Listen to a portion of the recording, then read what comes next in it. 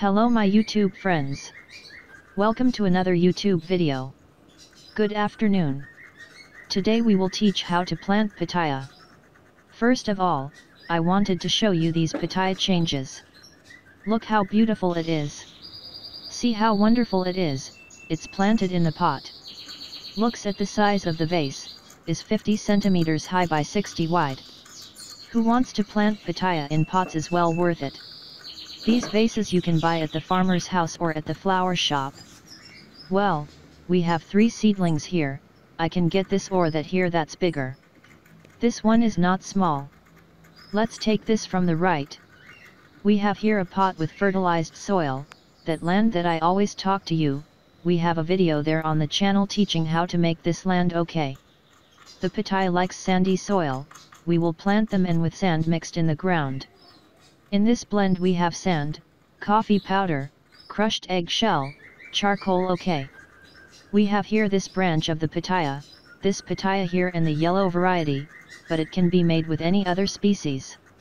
How to get the seed out of it, let's say it's planted here. Let's cut here and here too. Could leave so personal, but for more seedlings I decided to cut into two parts.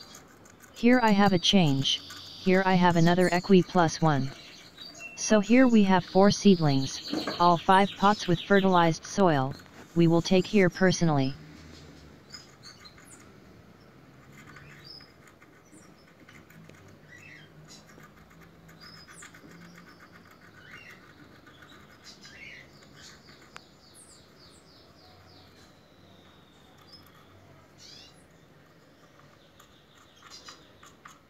Can cut with a knife or even with pruning pliers, and a little difficult to cut, be careful not to hurt okay.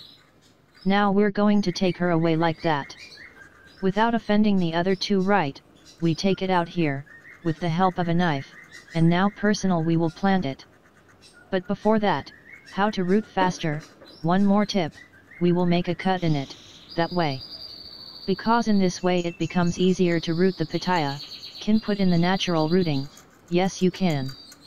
You can leave it for about 20 minutes and then you can plant it okay.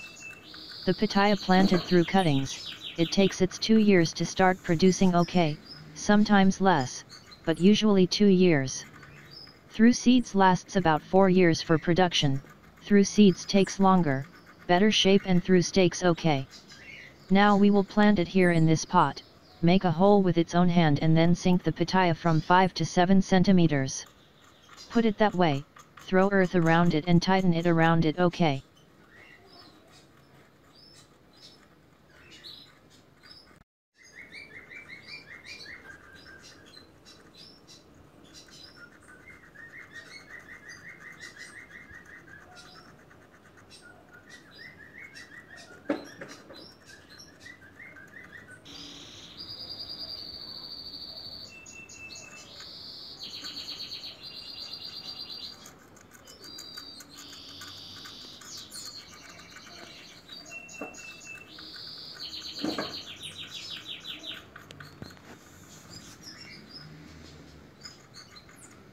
She cannot be bitch, the same thing we will do with the other two here.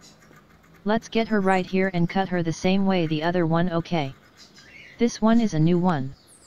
This one in the same way, see how easy it is to separate her personal, the part underneath which agent plants her, always the thorns up okay.